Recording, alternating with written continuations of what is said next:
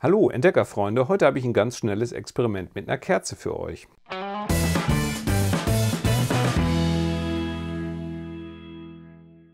Ja, in diesem Experiment habe ich euch schon mal gezeigt, wie eine Kerze unter Wasser brennen kann, mit einem kleinen Trick.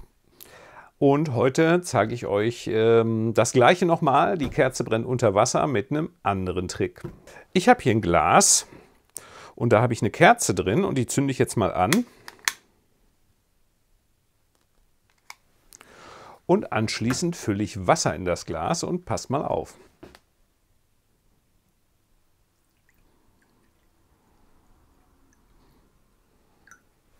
Tja, erstaunlich, oder?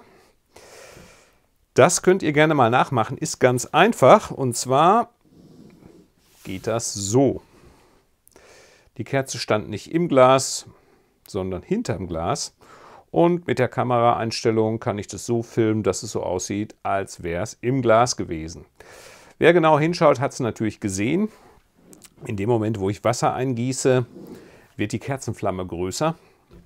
Und äh, das ist der optische Effekt. Diese Wassersäule hier wirkt wie eine dicke Lupe. Ja, das heißt, lasst euch nicht reinlegen, überlegt, was passiert hier, kann das überhaupt sein? Hier geht es wirklich darum, nicht alles zu glauben, was ihr seht und auch nicht alles zu glauben, was ihr denkt, sondern erstmal einen Moment nachzudenken und vielleicht auch nachzumachen.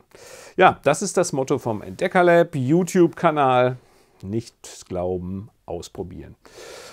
Ich sage bis nächsten Sonntag, dann gibt es ein neues Experiment. Bleibt neugierig, macht's gut, tschüss.